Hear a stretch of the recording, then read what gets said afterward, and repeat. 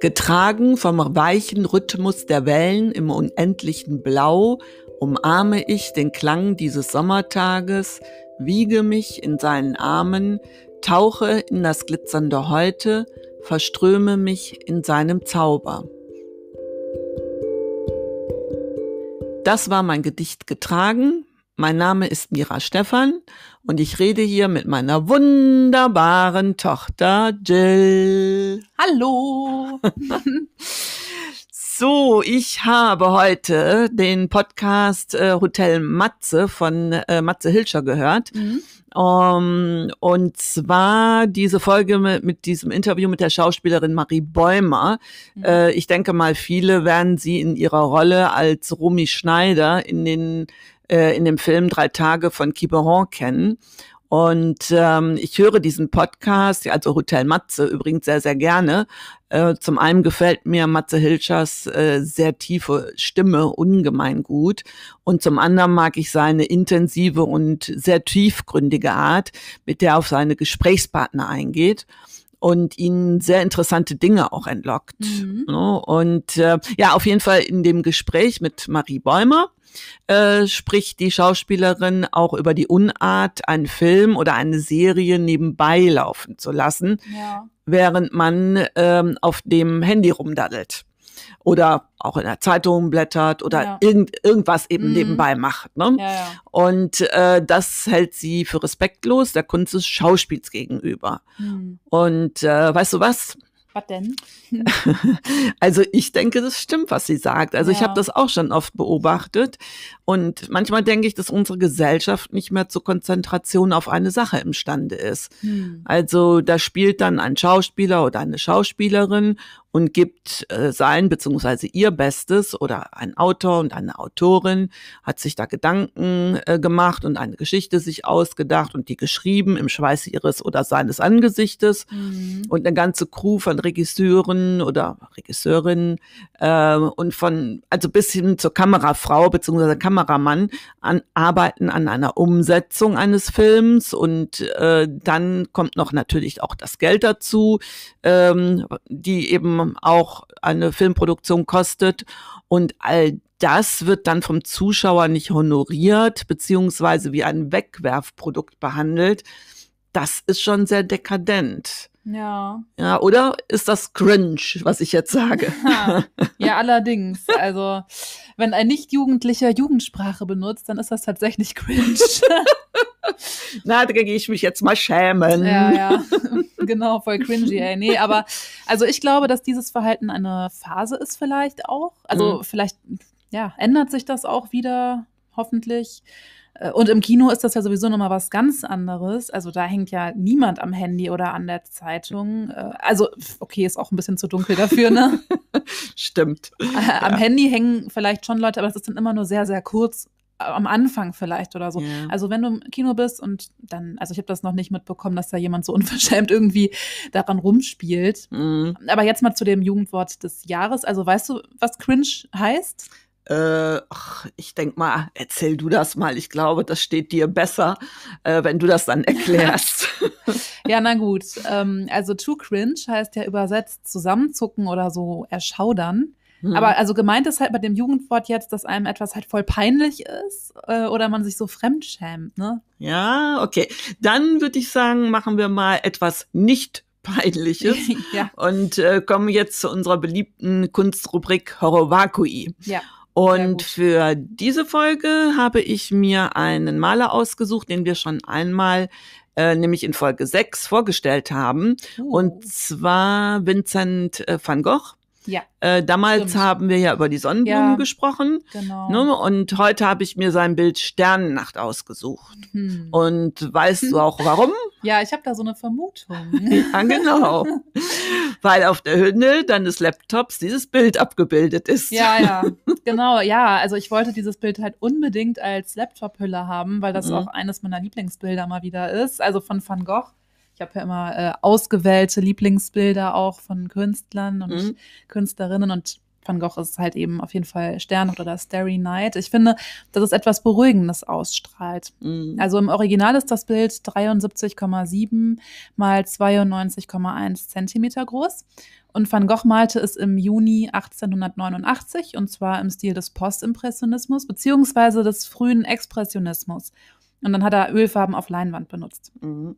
Ja, das Bild äh, ist seit 1941 im Besitz des Museum of Modern Art in New York City. Und ja, kurz noch zur Unterscheidung von Impressionismus und Expressionismus. Also im Gegensatz zu den impressionistischen Malern ähm, drückten die Expressionisten ihre subjektiven Regungen aus, also ihre innere Welt und ja nicht die Lichtreize. Stimmt, die Impressionisten, das war die Auflösung der Form zugunsten der Farbe. Also ja. das war mehr das Äußere. Und mhm. die Expressionisten sind mehr in, ins Innere gegangen, also die ja. in, in, die innere Welt, ja, genau. wie du gerade auch schon gesagt mhm. hast. Ne? Ja, genau. ja, genau. genau. Nee, auf jeden mhm. Fall. Und ähm, so kann man das nochmal zusammenfassen. Aber zurück zum Bild. Ne? Mhm. Also ähm, die Perspektive des äh, Bildbetrachters entspricht dem Blick aus dem Fenster des Krankenzimmers des Sanatoriums in Saint-Rémy. Mhm. Also das ist eine Nervenheilanstalt. Da hat Van Gogh sich selbst eingewiesen weil er unter schweren Wahnvorstellungen und Albträumen auch litt. Ja. ja, und die Motive des Gemäldes, ja, die sind ein blau-orangener Nachthimmel, Zypressen und ein Dorf mit einem markant und spitz aufragenden ähm, Kirchturm, Weizenfeldern und Olivenhain. Und diese Dorfhäuser äh, sind auch beleuchtet. Mhm. Und etwa zwei Drittel der Bildfläche wird vom Nachthimmel ähm, eingenommen. Also sehr viel auch. Mhm. Der ist schon auch markant eigentlich. Und Van Gogh malte elf Sterne und einen sichelförmigen Mond. Mhm. Und dazwischen wellenförmig dargestellte kosmische Energie im Bildzentrum. Ah, interessant. Ja. Das ist kosmische Energie. Genau. Ah. Das ist auch nochmal ganz gut zu wissen, ja. glaube ich, wenn man sich das so anguckt. Ich glaube mhm. nicht, dass das jedem so bewusst ist. Mhm. Ja, und ich finde, dass das Bild Turbulenzen ebenso wie Ruhe und Hoffnung ausstrahlt. Also diese Widersprüchlichkeit kann man sehr gut erkennen, finde ich. Also so mhm. äh, kontrastiert die Stille des Dorfes mit der Aufgewühltheit des äh, Himmels. Mm. Das ist schon krass. Und den recht düsteren Farben der Zypressen im Vordergrund stehen das strahlend Gelbe des äh, Sichelmondes und der Sterne auch entgegen. Ah ja. Mm. Ja, und dem dominierenden Blau sind dann einzelne Einsprengsel in Orange entgegengesetzt. Ja, das ist schon ein wirklich faszinierendes Bild. Ja. Ähm, kannst du uns zur Einordnung etwas äh, über das Leben des Malers verraten? Ich glaube, in der damaligen Folge ist das so ein bisschen zu kurz kommen oder haben wir da gar nicht so viel, glaube ich, mhm. über sein Leben gesprochen, wenn ich mich ja. recht entrinne, äh, ent, entsinne. Genau, und erinnere. ja. Das ist wieder was für, für unsere äh, Versprecherliste. Ne? Ja, genau. haben wir ja schon lange nicht mehr gehabt. Ja, Stimmt. aber sicher doch. Also erstmal jetzt zum Leben. Äh, Vincent van Gogh wurde 1853 geboren und gilt als Begründer der modernen Kunst. Er schuf fast 900 Gemälde und mehr als 1000 Zeichnungen. Ja, und er wuchs als Sohn eines äh, Pfarrers und einer Buchbinderin mit fünf Geschwistern auf. Oh ja. Ja, und als er älter wurde, führte er einen umfangreichen Briefwechsel, vor allem mit seinem Bruder Theo van Gogh. Ähm, das ist auch der Händler seiner Bilder gewesen. Mhm. Interessant ist, dass die ersten Zeichnungen des jugendlichen Vincent sich dort finden und viele der Gemälde hat Vincent in seinen Briefen an Theo auch vorgezeichnet. Mhm. Und nach der Schule probierte sich Van Gogh in unterschiedlichen Berufen. Also er war Hilfslehrer, dann Pfarrer, später Prediger, schließlich Volontär in einer Buchhandlung und begann kurzzeitig auch ein Theologiestudium. Und erst 1880, ich, da war Van Gogh so 27 Jahre alt, da hat er sich erst dazu entschlossen, Maler zu werden. Oh, das ist ja interessant. Ich habe äh, gedacht, Van Gogh hätte schon viel früher angefangen zu malen. Mhm. Ähm, und so wie ich das jetzt so raushöre, muss er auch eine sehr enge Beziehung zu seinem Bruder gehabt haben. Mhm, total. Also mit seinem Bruder Theo, ähm, der die Pariser Filiale der Kunsthandlung Goupil und Co. leitete, mhm. ähm, vereinbartete er, seine Bilder zu vertreiben bleiben. Mhm. Also ja, doch Vincent van Gogh konnte mit Geld, das er und sein Bruder Theo verdienten, nicht umgehen mhm. und lebte deshalb ja, wirklich in ständiger Armut. Mhm. Also schon, ja, und 1880 zog er nach Brüssel, um mit Künstlern dann in Kontakt zu kommen, ja, und das Malerhandwerk auch zu lernen einfach. Und als Van Gogh dann 32 Jahre alt war, zog er ins niederländische Antwerpen und später dann nach Paris, wo er seinem Bruder und Händler Theo wieder näher war. Ne? Also mhm hat ja in Paris gelebt. Und unter dem Eindruck des Impressionismus begann er mit Farben und verschiedenen Techniken dann zu experimentieren. Ja, da muss man aber schon mal feststellen, so diese Rumreiserei, die verschiedenen Berufe, das war schon sehr unbeständig und, und auch ein sehr unruhiges Leben. Mm, ja, das stimmt. Also wenige Jahre später nämlich lockte ihn dann der Süden Frankreichs wo er in Alès äh, die Farben der Natur für seine Gemälde finden wollte. Oh, ja, ja das ist da auch wieder äh, von einem Ort zum nächsten. Ne? Genau, also hier war Van Gogh sehr produktiv und schaffte unter Einfluss des Impressionismus dann fast 190 Gemälde. Ja, aber immerhin. Ja. Sehr diszipliniert. Ne? Ja, und unter anderem übrigens die hm. berühmten Sonnenblumenbilder, die hm. wir ja, wie schon erwähnt, ne, in Folge 6 vorgestellt hm. haben. Genau. Ja, aber leider äh, brach dann hier seine Krankheit aus. Also Ärzte stellten bei Van Gogh schwere Wahnvorstellungen und Albträume fest, die ihn fortan immer mehr am freien Malen und Zeichnen ähm, hinderten dann. Ja, sowas ist dann äh, echt traurig, vor allen Dingen, wenn man so begabt ist. Mhm, absolut. Und man kennt ja den Vorfall, also nach einem Streit mit seinem Künstlerfreund Paul Gauguin schnitt sich Van Gogh im Oktober 1888 dann einen Teil seines linken Ohres ab. Mhm. Ja, und er kam dann eben in die Nervenheilanstalt, wo er Selbstporträts malte, oder die hier vorgestellte Sternennacht. Ähm, Im Frühjahr 1890 durfte er die Anstalt dann verlassen. Bis zu seinem Tod im Sommer 1890 lebte er dann auch noch in Paris. Also da ist er dann geblieben. Und erst nach dem Tod des Malers erzielten seine Meisterwerke Rekordsummen bei Auktionen und sind auch heute begehrte Sammlerstücke. Also zieh dir das mal rein. Sein letztes Selbstporträt, das er im Jahr 1889 fertigstellte, wurde beispielsweise für ganze 71 Millionen Dollar verkauft. Wow. Ja. Krass. Ja, da muss ich schon sagen, es ist schade, dass äh, Van Goghs Leben so dramatisch verlief und dass er auch so krank war und mhm. damit natürlich auch so ein bisschen äh, sein, sein Leben in die, naja, dramatische und ja, schlechte Bahn ja. gelaufen ist. Ne? Eigentlich auch wieder ein Beispiel für ein Künstlerleben, das nicht so rosig war. Also mm. haben wir jetzt schon öfter leider ähm, stimmt, gehabt, ne? Stimmt. Jetzt auch mm. wieder. Aber jetzt mal was anderes. Weg davon. Okay. Ähm, ich habe dir doch letzte Woche den Link zu dem neuen Lied äh, geschickt. Das hat Shirin David mit Kitty Cat äh, aufgenommen. Ja, ich erinnere mich. Ja, wie gefällt's dir so? Ja, da macht es bei mir bling bling. Okay. Also für diejenigen, die den Text des Songs jetzt nicht kennen, das ist ein Element aus dem Rap jetzt. Ja, genau.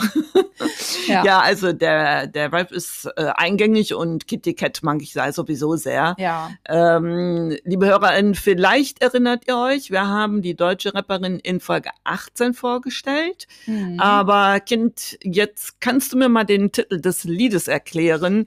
Be a hoe, break a hoe. Mm. Ist das so richtig? Also erklär mir das mal. Ja, das ja. verstehe ich nicht. Okay, nee, nee, also genau. Das Lied, also Shireen Davids Lied heißt jetzt Be a hoe, break a hoe. Ähm, erstmal ist in dem Lied der Track Break a Hoe von DJ Paul und Juicy J gesampelt. Und was ist jetzt Samplen? Also das ist, wenn man einen bereits, also eine bereits fertige Ton- oder Musikaufnahme dann in einem neuen Lied so verwendet. Ah ja. Ja. Ja, ist das dann so, Nachmachen oder? Ja, also das ist wirklich was, das ist schon krass. Das ist eine immer noch, also so von der Rechtsfrage her, ja. total schwierig.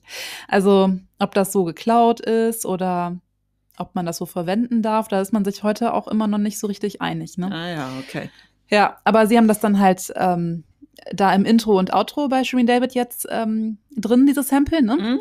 Und die Hook bei äh, DJ Paul und Juicy J besteht allerdings äh, selbst nochmal aus Samples. Ach, also sie hat, ja, sie hat ein, ein, Lied gesampelt, was selbst ein Sample ist irgendwie. Mhm. Also ähm, der Part See a Ho, Break a Ho stammt ursprünglich aus dem Song Pims von 8Ball und MJG. Mhm. Und da hört man deutlich, dass MAG in seinem Part See a Ho rappt und nicht Be a Ho, wie man das ja bei Jimmy David und äh, ja, diesen anderen Sample hört von DJ Paul und Juicy J. Mhm. Die beiden haben das für ihr Lied nämlich so verzerrt, dass es nach Be a Ho klingt und so hat Jimmy David das halt in ihrem Song jetzt auch drin.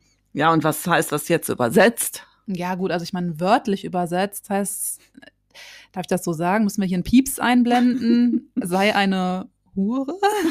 Brich eine Hure, sei eine Pieps. Ja. Also ich weiß aber nicht, ob man das wirklich so eins zu eins übersetzen kann jetzt. Ich meine vom Sinn her, ne? Mm. Hatten wir ja schon mal das Thema, auch mit Drake und so. Ja, stimmt. Das ist ja. immer ein bisschen schwierig. Aber erstmal muss man ja sagen, Ho ist erst, also krasses Schimpfwort, klar, Mhm. wenn man das so hört, auch Mhm. übersetzt. Mhm. Aber Shireen hat äh, am Sonntag jetzt erst, habe ich mir angeguckt vorgestern, ihr Mhm. Album ähm, ja Track für Track vorgestellt. Das Album soll am 19. November erscheinen und das heißt dann halt Bitches brauchen Rap, da hast du es wieder. Ah ja. Mhm. Aber da erklärt sie, dass Bitches jetzt halt überhaupt nicht negativ gemeint ist. Mhm. Also sie will diesen Begriff wieder positiv konnotieren und meint damit dann eher so selbstständige, starke Frauen. Also komplett das Gegenteil von dem, was man jetzt vielleicht so damit verbindet, wenn man Bitch sagt, ne? ja, das ähm, Bitch, Bitch ist doch das Mischstück, ne? Ja, auch Schlampe halt. Ja, Ja, ja, gut, sowas, okay. klar. Mhm. Aber ähm, finde ich interessant, ihre Herangehensweise und ich bin auch schon sehr gespannt auf das Album tatsächlich. Ja, ach, das ist, äh, können wir dann ähm, in der übernächsten Folge ja mal besprechen. Ja, Ne? ja, Ja, gut. können wir machen. Ja, prima. Dann würde ich sagen, in diesem Sinne, das war Erbs und Schote für diese Woche. Bling, bling. Ja, Wir hören genau. uns nächsten Dienstag wieder. Bling, bling. Ich freue mich drauf. Bling, bling. Ja. Oh je. toll. Ich glaube, ich habe einen Ohrwurm von dem Lied. Ja, ja, ich glaube auch. Also bis neulich, ihr da draußen, und ihr wisst ja, ne, bleibt erbsig. Bling, bling. Glück auf. Bling, bling. Tschüss.